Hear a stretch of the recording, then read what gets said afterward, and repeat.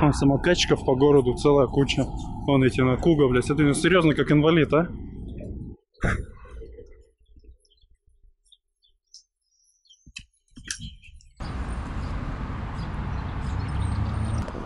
Сейчас расскажу о том, что мне больше всего не понравилось, ну или точнее то, о чем я давно хотел поделиться. Я за все это время, вот у меня там 850 почти километров за две недели, ничего не подкручивал, там никакой болтик, ничего вообще не трогал, кроме одного.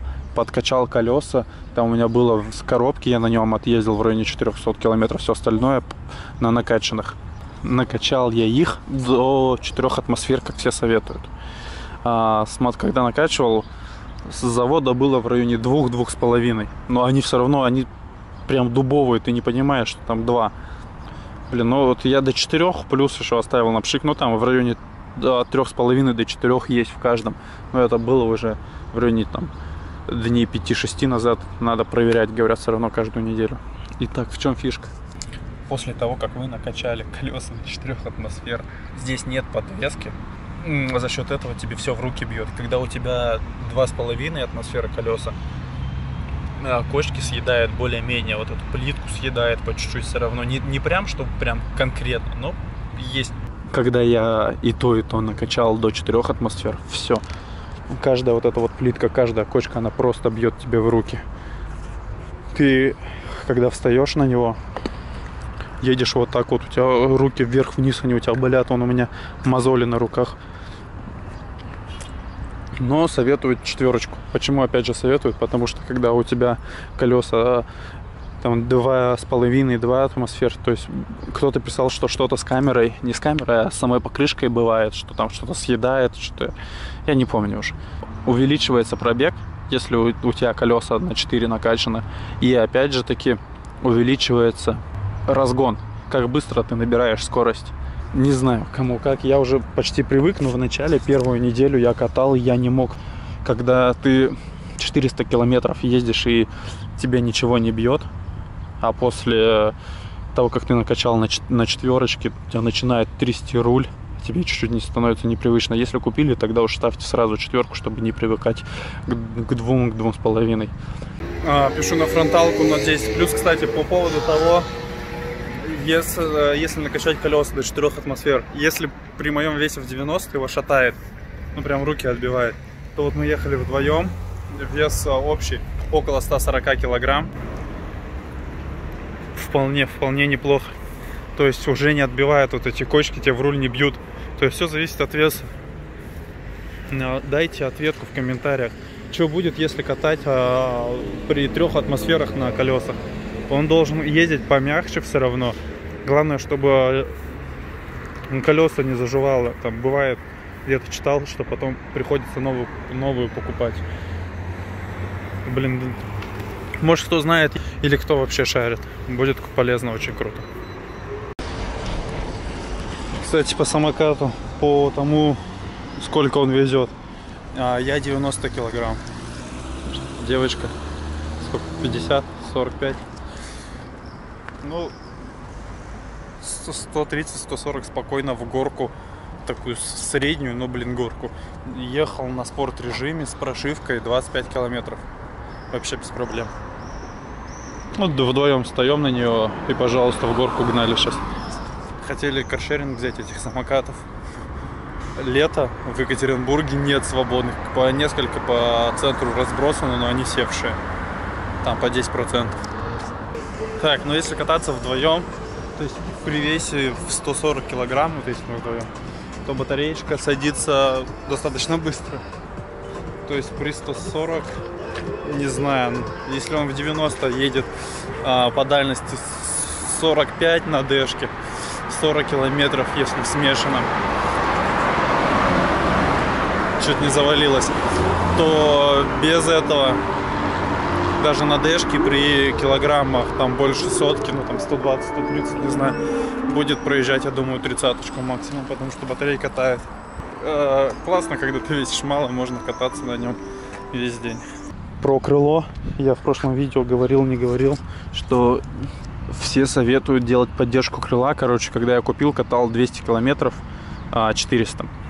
Никаких проблем вообще замечено не было. Я думал, зачем поддержка? То есть все говорят, что оно вот так вот бьется об колесо на каждой кочке. Я, я катал 400 километров и говорил, блин, о чем вы, какая ерунда, нормально все, то есть ничего не ломается. Смотрел на ютубе, тоже кто-то так рассуждал.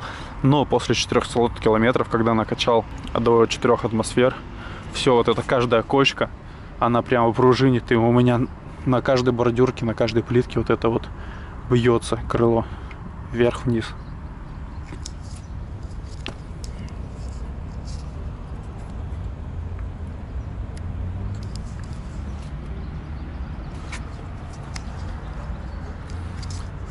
И в итоге, если долго катать на 4 атмосфер колесах и много кочек, рано или поздно, я смотрел фотки, там в Телеграме кто-то отписал, вот здесь начинает трескаться.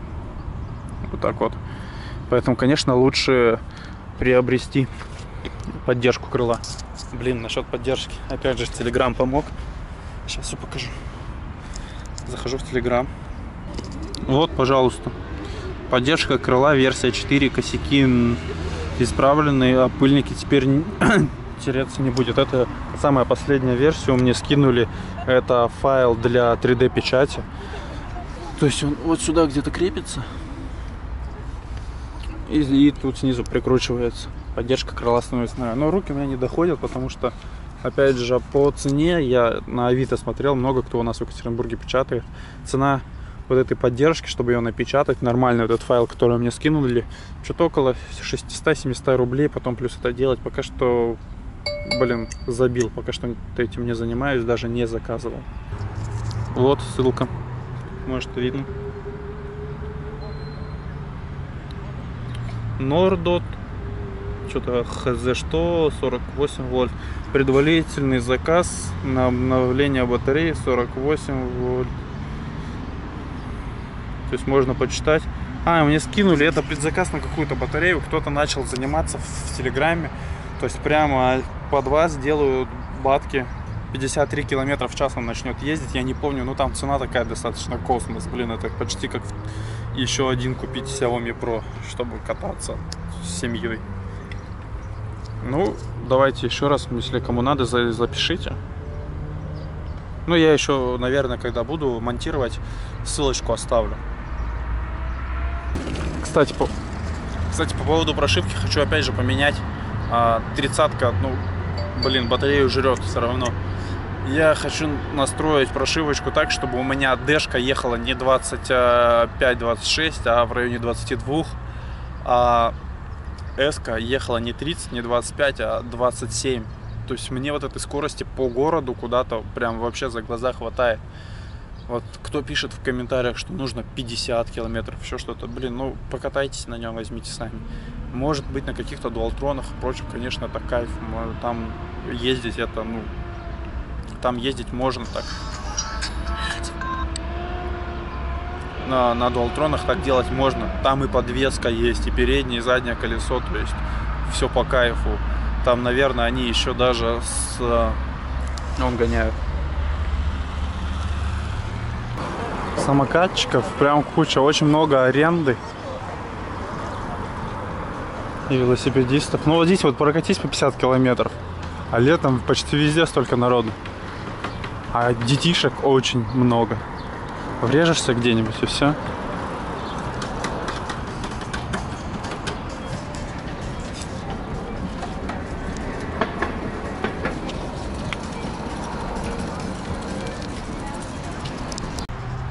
Скорее всего, там даже есть на некоторых и камеры стоят, и амортизация хорошая.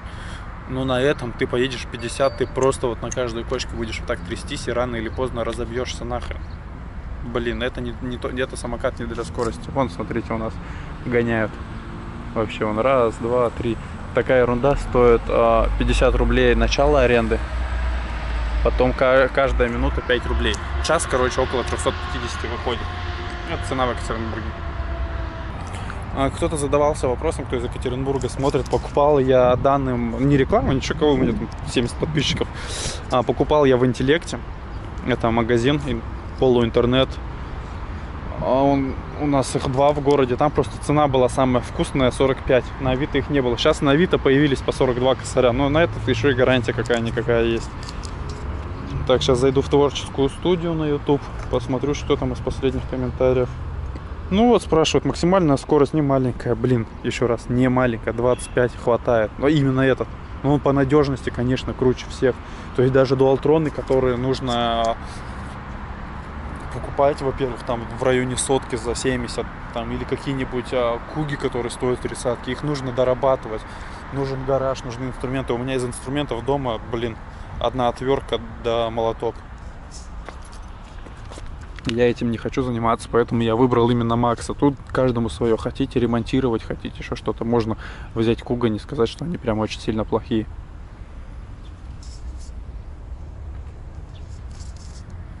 Ну, в двух словах, 850 километров с ним ничего не случилось. Едет кайф. Ну, люфтить начал. люфтить начал, конечно, гад. Хотел сказать про аксессуары и забыл, чуть не выключил видос. Эта херня, она не помогает. Я курьером подрабатываю. А цепляю, когда нужно забежать в магазин, забрать заказ. Либо там на пятый этаж быстренько заскочить, отдать посылку. Сумка. Сумка фуфло полная. То есть почему, опять же, вот эта вот ерунда маленькая закрывает у меня фонарь. То есть если брать, то брать немножко другой формат. Я сейчас все покажу там такой гробик берется, у него вот эти лямки, они побольше, и он вниз опускается, то есть висит все равно пониже, и фонарь не закрывает. Вот эта ерунда тоже полная. Во-первых, закручивается, во-вторых, вот эта херня слетает. Видите, уже сюда переклеил, потом нужно просто на суперклей как-то припомбасить. Но я его взял в городе, просто здесь не захотел салика ждать. Там месяц он будет идти. Взял здесь за 450 или за 500 рублей. Так они там стоят на алике по 300, по 350. Но лучше брать, которая прямо зажимается, а не закручивается. Это ерунда еще каждый раз подтягивать ее. Вот эту взял для того, чтобы возить там что-то. Ну, там у меня маска запасная, потому что сейчас в магазинах ничего не продают. И пуфербанк. Если брать замок, то брать не 8 миллиметров, не 6, а там миллиметров 12. А вообще лучше катать всегда его с собой, потому что в чате у двоих уже прямо вытаскивали из подноса.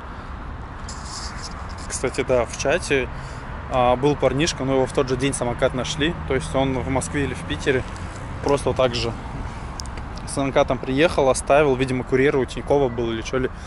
Пошел отдавать там в 20 метров просто кому-то в машину заглянул, начал отдавать документы, у него утащили самокат, но он подал тут же заявление, его вечером уже нашли.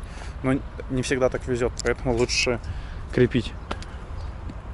Потому что, ну, кто тащит их, они знают, что они складываются очень легко. Взяли, утащили, там тем более его сразу же погрузили в машину и увезли. Потом ППСники просто или ДПСники остановили, открыли, а там он лежит.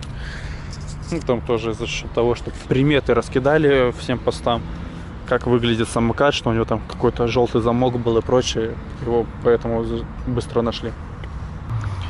То есть, если брать, то брать вот такой 18 миллиметров замок.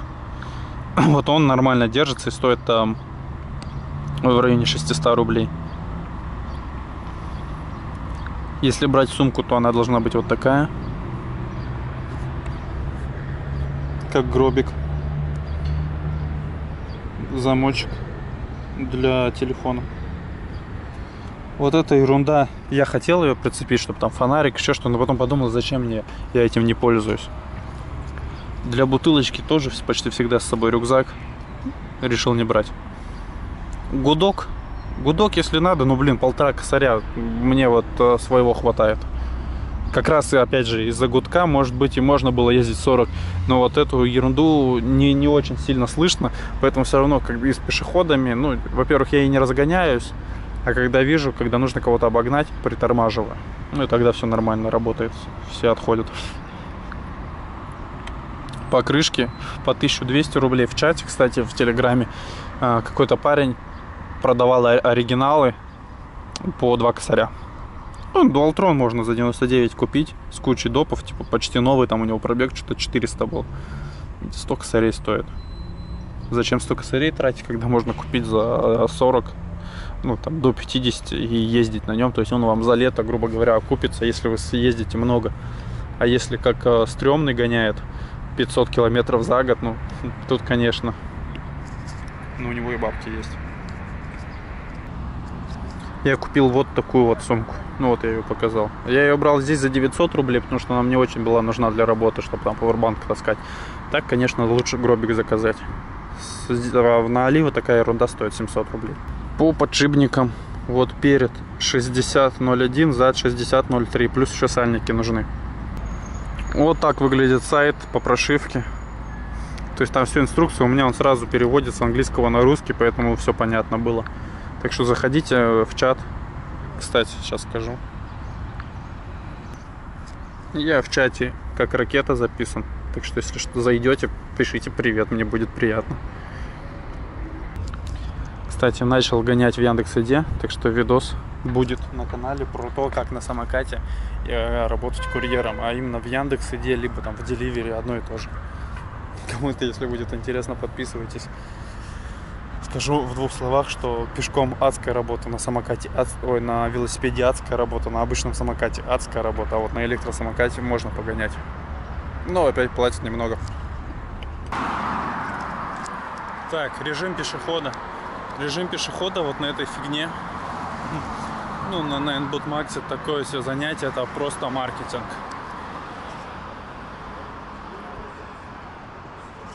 Он ни хрена не работает. А это еще нельзя включить через пульт, нужно включать приложение, а, останавливаться, включать режим пешехода, потом включать приложение, отключать его. Ну, такая себе затея. То есть, чтобы отключить, не знаю, может он это сам отключается, когда стартуешь. Но я чисто это для тестов делал. Вообще никак не помогает. Вон у меня накаталось. Это, может быть, вставлю сейчас фрагмент.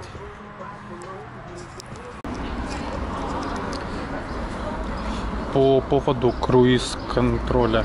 Не круиз-контроля, а режима пешехода на этом.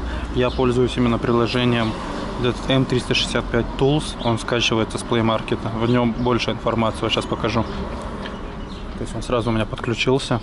817 пробег.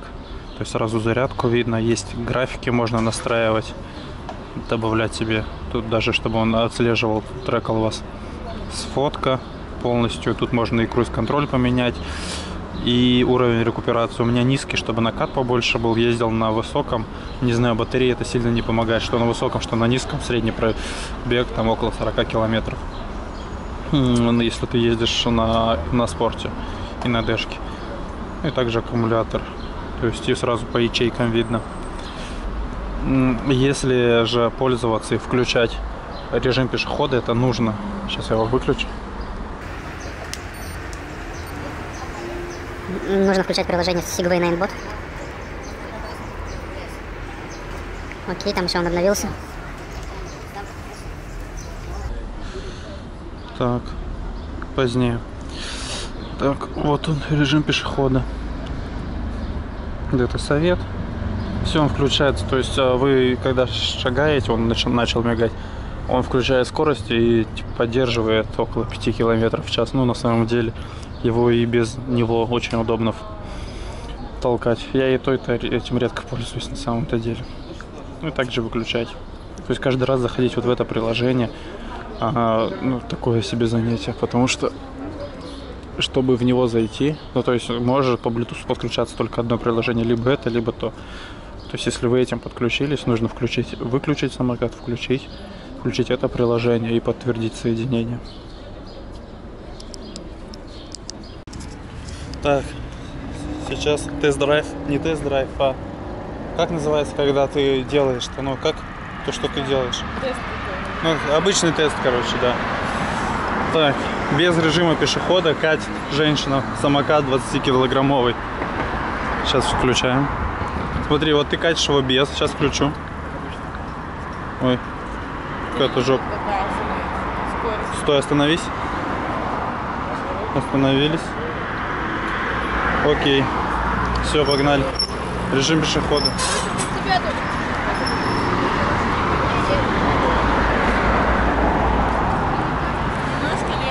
Чуть...